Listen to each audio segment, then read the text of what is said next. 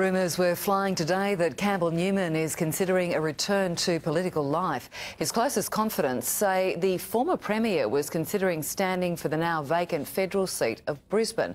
But it seems one of the biggest obstacles to the plan could have been close to home.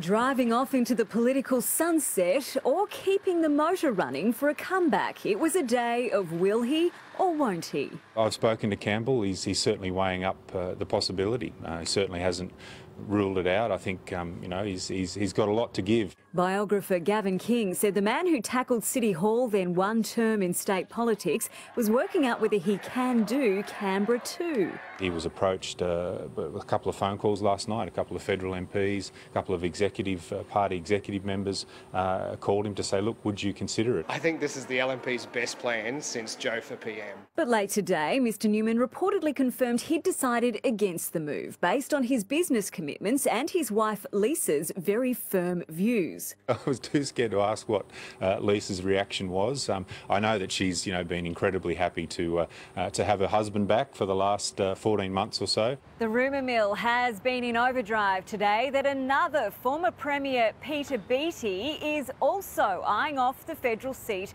of Brisbane. But Mr Beattie has told 7 News he's no chance of running and he's very happily retired. A serving Army Major is Labor's pick to do battle for the seat, tipped to go up against the National Retailers Association Chief Trevor Evans. Well, I don't think it matters what face they put on it, it's the policies that matter. A race that Campbell Newman seems set to watch from the sidelines. Katrina Blowers, 7 News.